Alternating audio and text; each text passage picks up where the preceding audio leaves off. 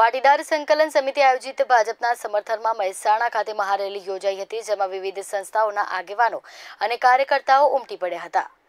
પાટીદાર સંકલન સમિતિ આયોજિત ભાજપના સમર્થનમાં મહેસાણા પાંચોટ દ્વારા રેલીનું આયોજન કરવામાં આવ્યું હતું. બાદમાં સભા યોજવામાં આવી હતી, જેમાં દેસાઈ સમાજના સિત્તેરથી વધુ કોંગ્રેસ કાર્યકર્તાઓ ભાજપમાં જોડાયા હતા. આ સભામાં નાયબ મુખ્યમંત્રી નીતિનભાઈ પટેલ સહિત સમાજના વિવિધ સંસ્થાના આગેવાનો અને કાર્યકર્તાઓ ઉપસ્થિત રહ્યા હતા. ગુજરાતના અન્ય વિસ્તારના લોકોના મનમાં એમ થતું હતું કે મહેસાણામાં આટલું બધું થયું. તો નીતિનભાઈ હવે ત્યાં ઉમેદવારી કરે છે. તો કેવું ચિત્ર થશે?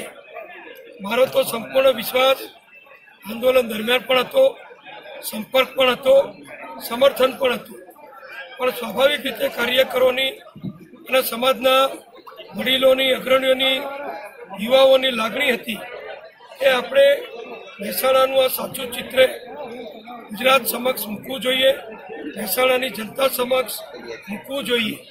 અને કાર્યકરો, યુવાનોએ આજે જે યુવા સાયકલ, મોટરસાયકલ રેલી કરી, જેમાં બે હજાર કરતાં વધુ મોટરસાયકલો મહેસાણાના સમગ્ર વિસ્તારની અંદર એની રેલી ફરી આજે જે વિશાળ સંખ્યામાં પાટીદાર સમાજની એકતાના દર્શન થયા, તેની પાછળનું એકમાત્ર કારણ એ હતું કે પાટીદાર સમાજ છેલ્લા વીસ બાવીસ વર્ષથી ભારતીય જનતા પાર્ટી સાથે જ રહ્યો છે.